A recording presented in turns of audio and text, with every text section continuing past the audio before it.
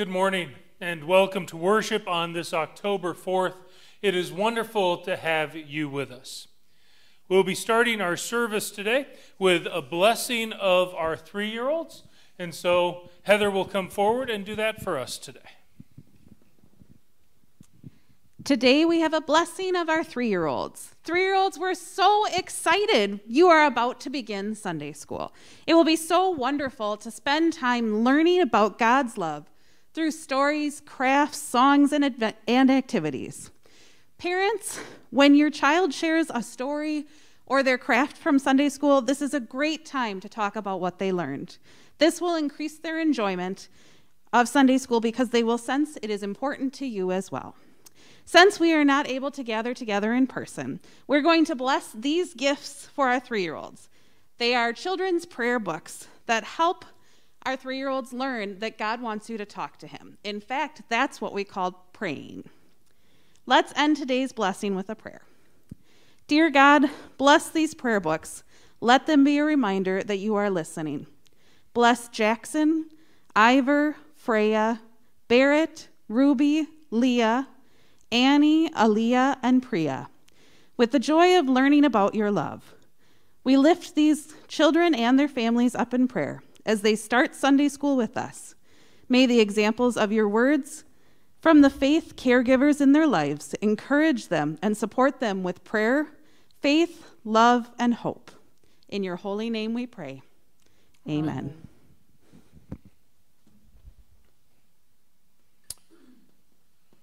We gather in the name of the Father, and the Son, and the Holy Spirit, the one who was, who is, and who is to come. Amen. Our opening hymn, O Day of Rest and Gladness, number 521.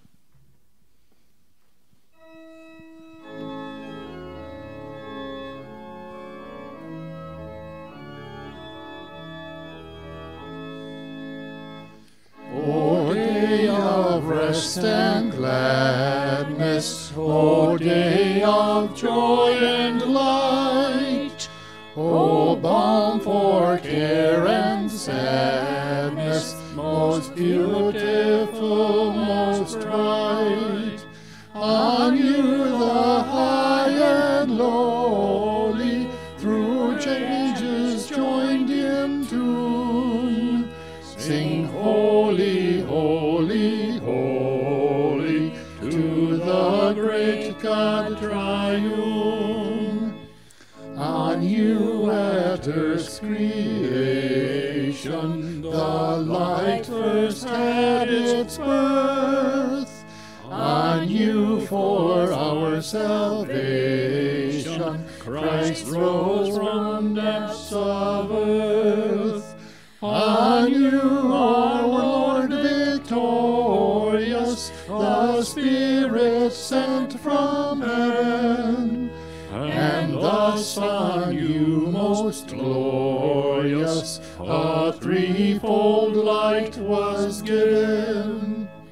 to day on weary nations, the heavenly manna falls. To holy convocations, the silver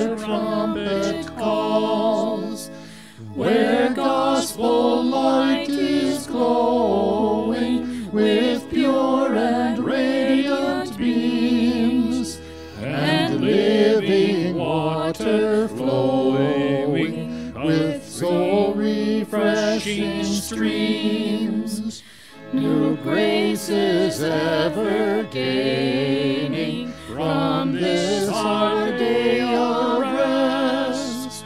We reach the rest remaining to spirits of the blessed.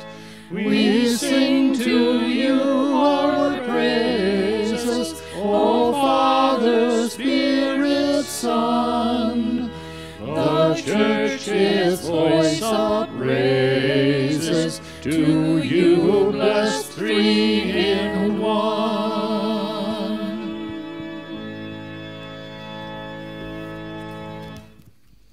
Blessed be the Holy Trinity. one God, who creates, redeems, and sustains us in all of creation. Amen. Let us confess our sin in the presence of God and of one another.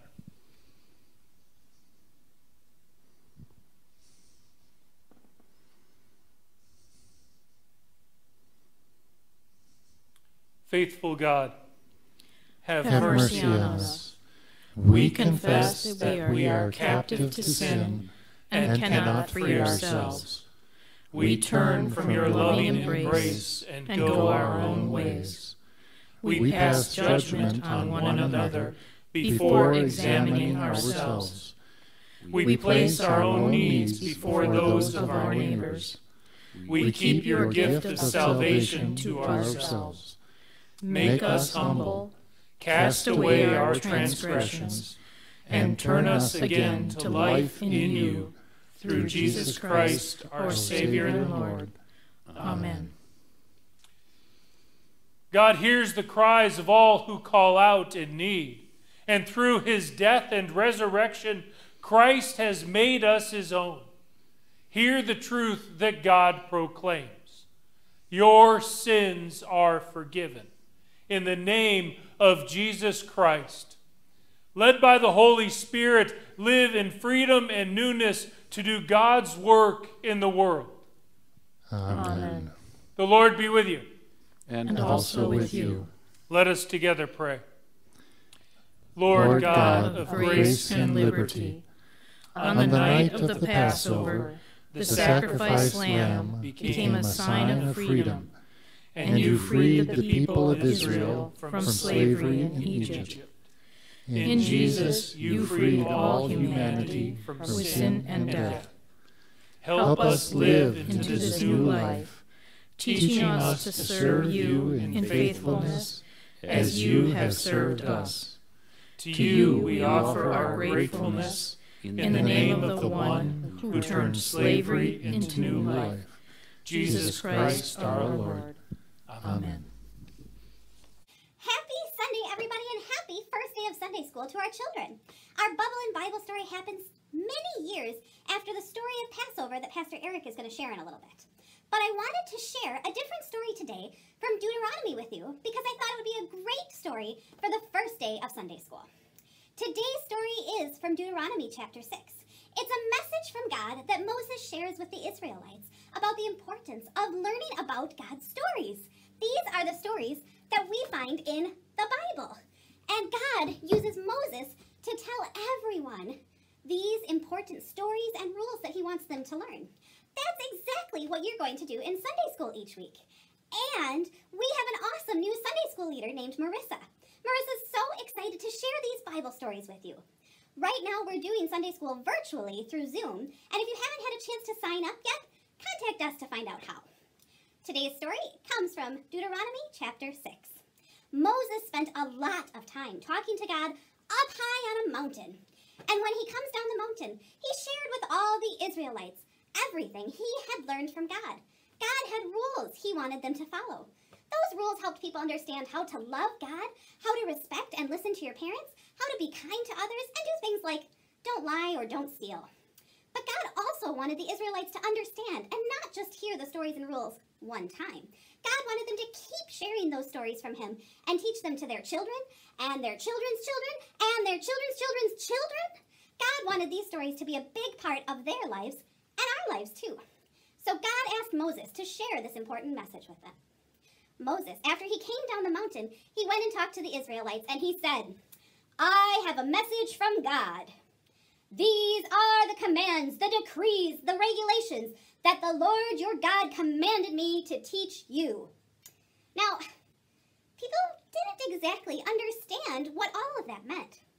So Moses tried to explain it even more. Listen, oh Israel, there's only one God, and we all are a part of his family. You must love the Lord with all your heart, all your soul, and all your strength. Which really means you need to love God with everything you say, everything you think, and everything you do. Moses went on to say, You also need to teach your children about God. Talk about God when you're at home or when you're on the road. Talk about Him when you're going to bed, and talk about Him when you're waking up for the day. Talk about God all the time. The people were grateful to hear this from Moses. This message from God was so important. It helped them understand that even though they were traveling and didn't really feel like they had a good place to worship God, they could still talk about Him. But with this message from God, Moses also shared with them that this is a great reminder that we all are all a part of God's family. The people shared stories about God when they were traveling all over. They told them to their children and encouraged their children to share those stories with others. Now, there's also this funny part of this story.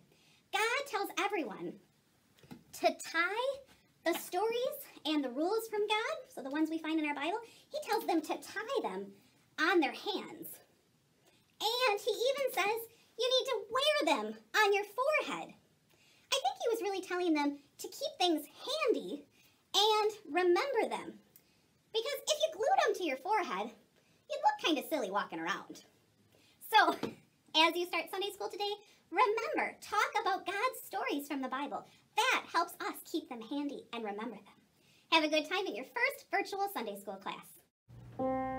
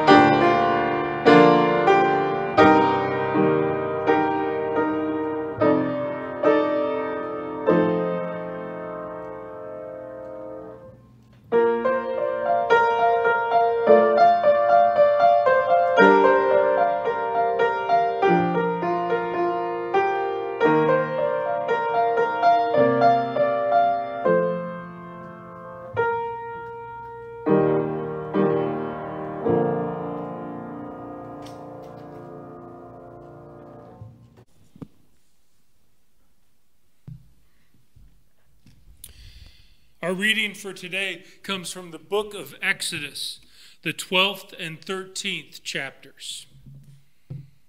The Lord said to Moses and Aaron in the land of Egypt, This month shall mark for you the beginning of months. It shall be the first month of the year for you. Tell the whole congregation of Israel that on the tenth of this month they are to take a lamb for each family, a lamb for each household.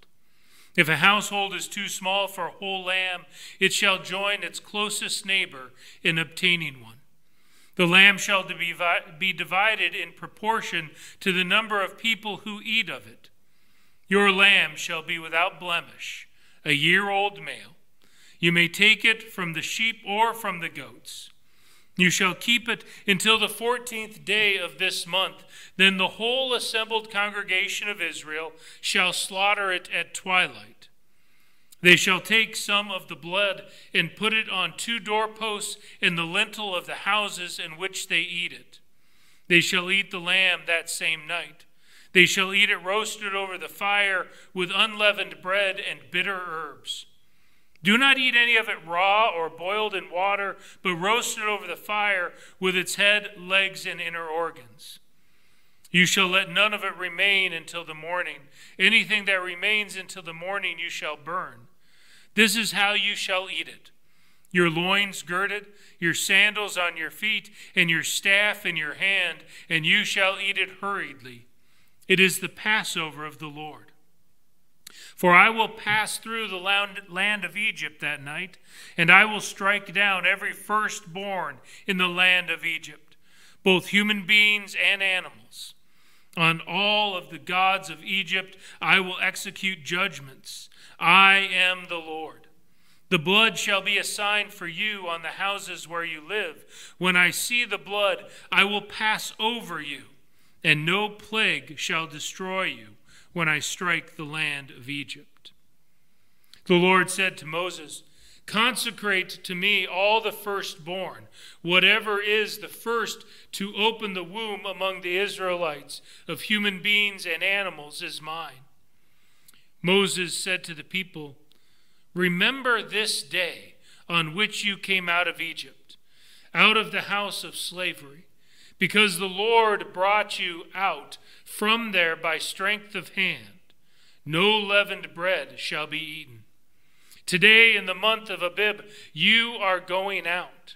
When the Lord brings you into the land of the Canaanites, the Hittites, the Amorites, the Hivites, and the Jebusites, which he swore to your ancestors to give you, a land flowing with milk and honey, you shall keep this observance in this month. Seven days you shall eat unleavened bread, and the seventh day there shall be a festival to the Lord. Unleavened bread shall be eaten for seven days. No leavened bread shall be seen in your possession, and no leaven shall be seen among you in all your territory. You shall tell your child on that day, It is because of what the Lord did for me when I came out of Egypt. The word of the Lord.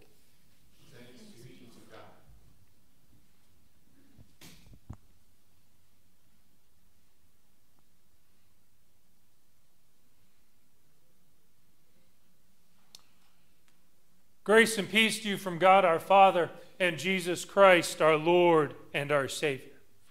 Amen. So last week, we heard the story of Joseph and how he wound up down in Egypt. Now, at the end of the book of Genesis, Joseph dies, and he gets his brothers to promise him that they will return to the promised land at some point and bring with them his bones so that he may be buried up in that promised land. Well, now we enter into the book of Exodus, and many years have passed, and there is a new Pharaoh who is sitting on the throne. This was a Pharaoh who never knew Joseph and knew very little about him. But he knows the Israelites. He knows how great in number they are at this time, and he has a fear of them. And so he enslaves all of the Israelites. But not only that, you see, this Pharaoh, well, he wanted to make sure that there would be no Israelite male that would rise up and maybe kill him. And so he decided to take some drastic action. He ordered all of the Hebrew babies were be, to be put to death as soon as they were born. And it was into this time, this very perilous time, that a baby named Moses was born. And this baby, he was hidden from all of the leaders at the time, but eventually, when he was too big to hide, he was taken down to the Nile River by his sister, put in a basket, and floated out of the reeds into the river. Eventually, he was found by the Pharaoh's daughter as she was bathing, and she decides this child cannot drown. And so she goes and hires a wet nurse who turns out to be Moses' real mother to help to raise him. And then, as he gets bigger, he is brought into the Pharaoh's house where he is raised as one of his own. Well, one day, as Moses is walking around, he sees an Egyptian who is beating a Hebrew, and Moses decides that he has to intervene. So he goes and he gets in between these two, and he actually kills the Egyptian, and then he buries the body so that nobody would know what had happened. Later on, he sees two Hebrews that are fighting, and he tries to break that up, and they turn and ask him, Are you going to kill us like you killed that Egyptian? Well, now Moses knows his secret is out, and so he flees. He runs to a land that is known as Midian, and he gets to a well, and as he is drawing water, he meets this woman named Zipporah. Eventually, he goes on and marries her, and they have a son of their own. Well, years later, as he is out taking care of sheep for his father in law, he comes to Mount Horeb. And as he is there, an angel appears to him, speaking out of a flame of fire that is burning in a bush. And Moses is called by God to go back, to go back to his people and to free them from their slavery. Well, after some back and forth has taken place, Moses does eventually return to Egypt. On the way, he meets up with his brother Aaron, who will be the speaker for Moses. And they go up to Pharaoh and they say, Let my people go. And the Pharaoh says, No. But since you asked, what I'm going to do is the Hebrews now all have to work just as hard as they are now. They have to fulfill the same daily quotas, but we're not going to provide them the material. They've got to go get that themselves. Well, it's at this point that the 10 plagues start to occur. This was one way that they thought they would be able to change Pharaoh's mind, and Pharaoh would let all of the Israelites go. First, there was water that was changed into blood. Then there was an influx of frogs, and then gnats and flies. The livestock got sick. There were boils on the people's body. There was thunder and hail that destroyed the crops. There were locusts, and then the land was covered with darkness. But in all of these cases, the land where the Hebrews lived was not affected. It was only the Egyptians who were affected. Well, then came the warning of the final plague. And in this plague, God said, The firstborn of all the Egyptians will be put to death. Now, before this final plague comes, God then says to the Israelites, This day, this day shall be a day of remembrance for you. You, all of the people who are gathered here, and your ancestors shall remember what took place during this night. And you will set up a special time, a special assembly every year to remember what has happened at this time. Yes, God is telling His chosen people to remember, to remember about what has happened and to pass it on to the next generation. Because this story this story is one that both defines God and God's children in an amazing way. But now, as we look at this story, we also realize it's quite a horror story. Just think about that for a minute. This truly is a story about death death of children and adults, death of animals, death that covers the entire land. Now, there is that parallels horror story that comes earlier in Exodus, that horror story where the Hebrew boys are all being put to death as soon as they are born. And it's ordered because the Pharaoh fears an uprising. He fears losing his power and control. And so he orders his own version of population control. And the Pharaoh himself serves as the angel of death to the Hebrews. But now, in today's lesson, the angel of death comes again. And there is weeping in the streets over the loss of loved ones. And the only ones who avoided the horror are the same Hebrews who endured it years earlier. You see, so much of this story revolves around the Pharaoh. At the time, he was viewed by people to be a demigod, and he wanted. He aspired, he desired to be divine. He wanted not only to be like God, he wanted to be God.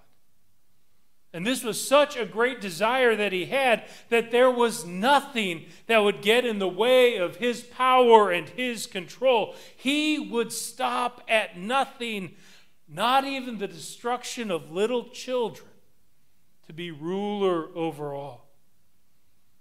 He would even let his land and his people suffer to keep his kingship.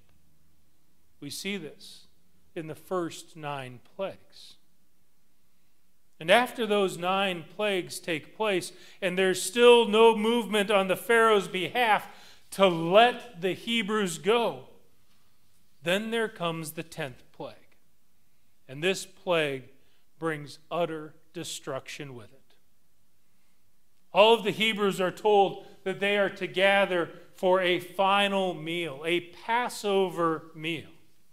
And so they gather in their homes, they gather quickly, they pick the right lamb, they prepare the bread even though it has no time to rise. They hold hands, they say prayers, they celebrate the gift of family that they have. And they even mark the doorposts of their house and their doors with blood, top and sides. The sign of those who live there are the ones who are enslaved by Pharaoh. And then God acts.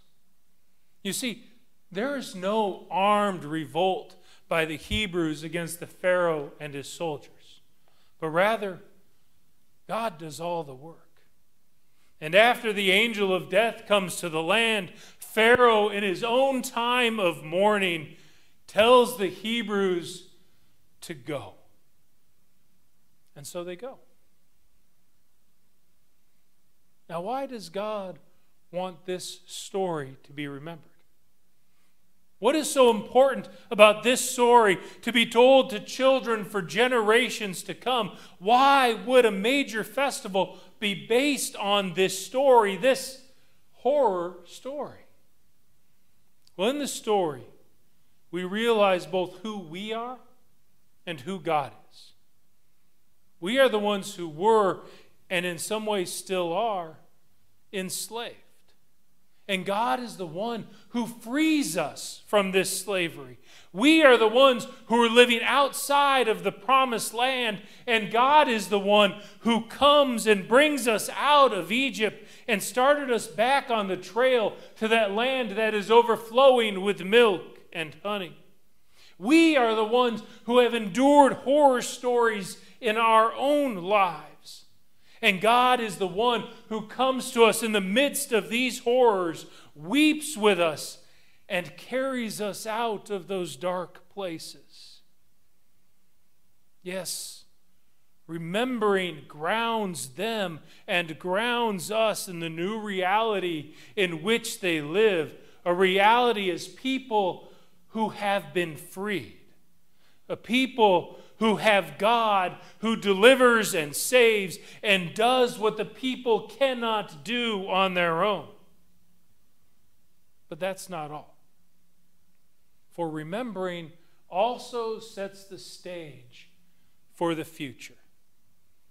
For a Passover meal that will take place many years later, and a new meal will be instituted. A meal that opens us to receive the grace, love, and forgiveness of God in a way that it has never been experienced before. For it was at the celebration of the Passover when Jesus sat down with his followers and said, This is my body, this is my blood. Do this in remembrance of me. And so we are called back to this table to remember.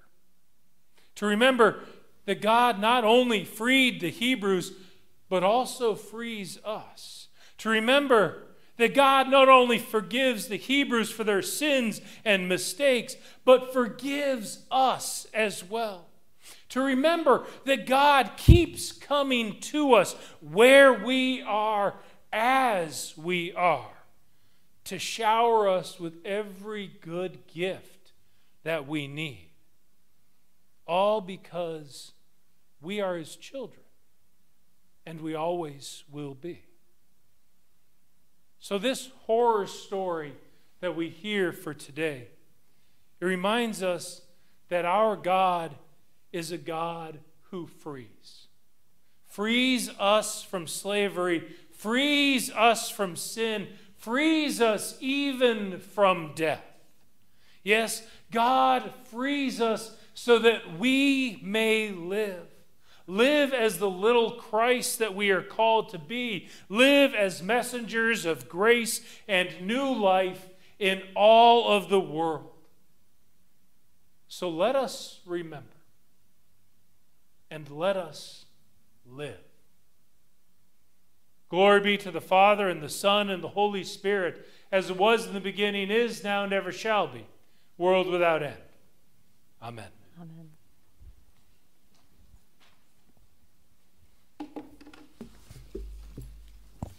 Today's hymn of the day is O Living Bread from Heaven, number 542.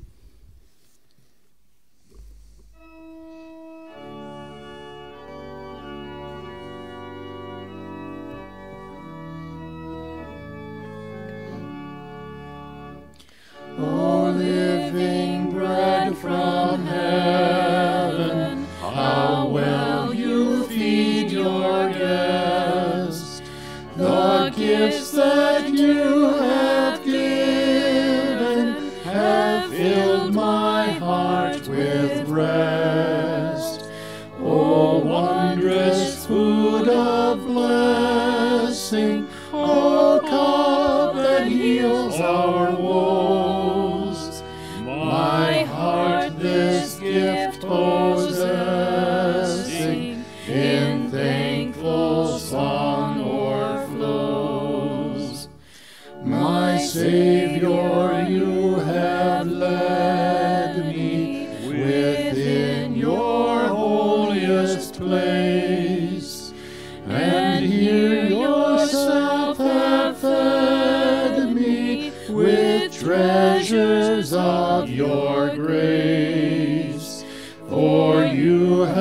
have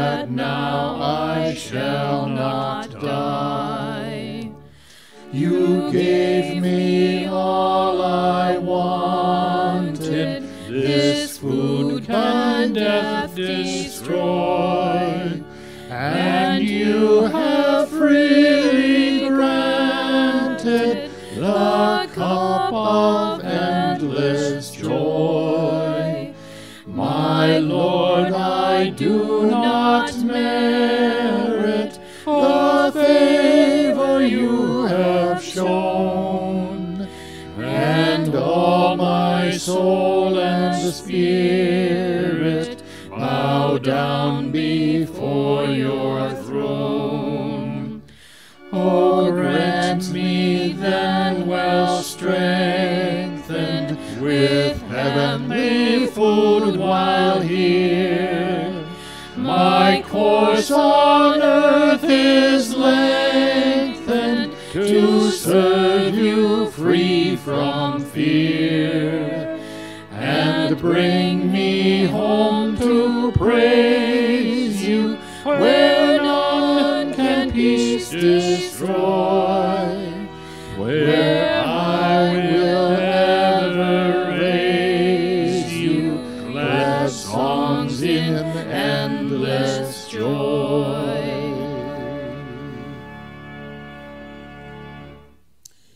With the whole church, let us confess our faith in the words of the Apostles' Creed. I, believe, in God, the Father Almighty, creator of heaven and earth. I believe in Jesus Christ, God's only Son, our Lord, who was conceived by the Holy Spirit, born of the Virgin Mary, suffered under Pontius Pilate, was crucified, died, and was buried. He descended to the dead. On the third day he rose again. He ascended into heaven. He is seated at the right hand of the Father, and he will come to judge the living and the dead. I believe in the Holy Spirit, the holy Catholic Church, the communion of saints, the forgiveness of sins, the resurrection of the body, and the life everlasting. Amen. With confidence in God's grace and mercy, let us pray for the church the world, and all those in need.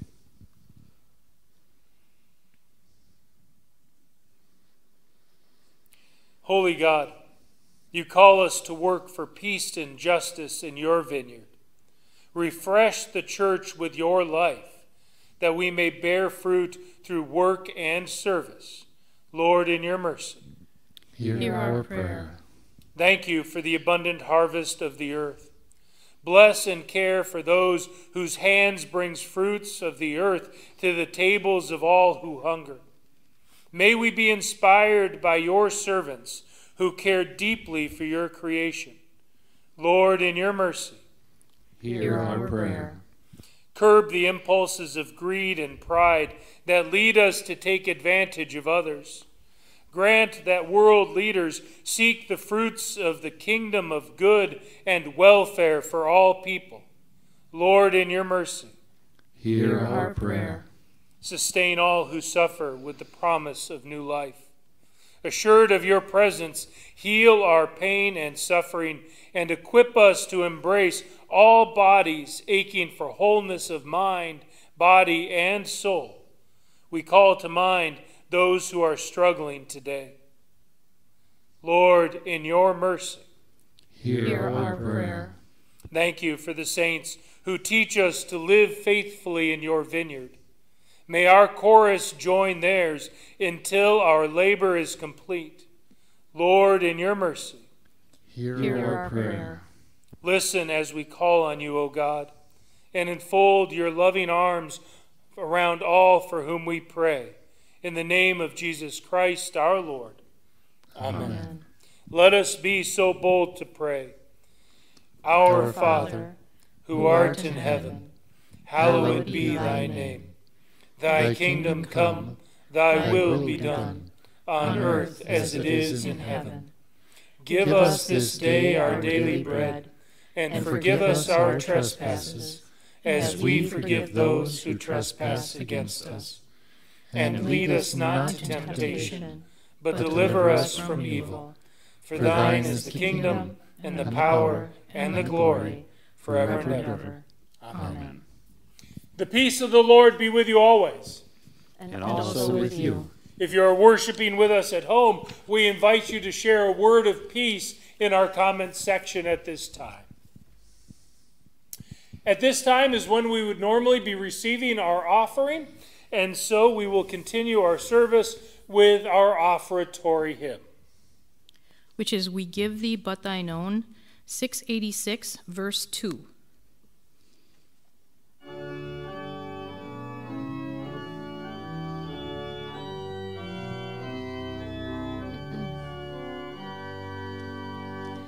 May we thy bounties thus stewards true receive, and gladly as thou blessest us, to thee our first fruits give. Let us pray. Holy God, the earth is yours and everything in it, yet you have chosen to dwell among your creatures. Come among us now in these gifts and strengthen us to be your body for the world through Jesus Christ our Lord. Amen. Amen.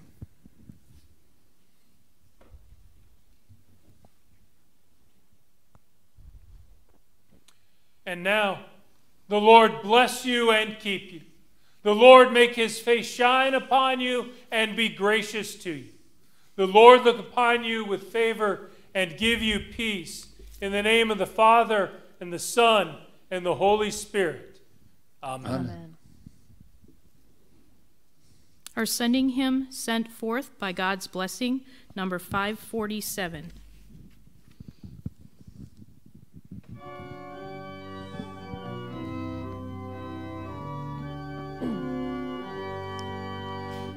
Sent forth by God's blessing, our true faith confessing, the people of God from this dwelling take leave.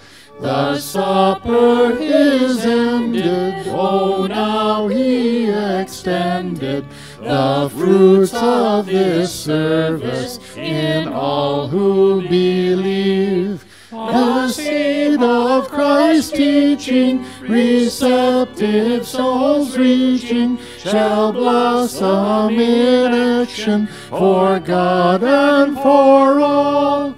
Your grace shall incite us, your love shall unite us to work for your kingdom and answer your call. With praise and thanksgiving to God ever living, the tasks of our everyday life we will face. Our faith ever sharing, to love ever caring, embracing God's children, the whole human race. With your feast you feed us, with your light now lead us, unite us as one in this life that we share. Then may all the living with praise and thanksgiving give honor to Christ and his name that we bear. Go in peace, serve the Lord. Thanks be to God.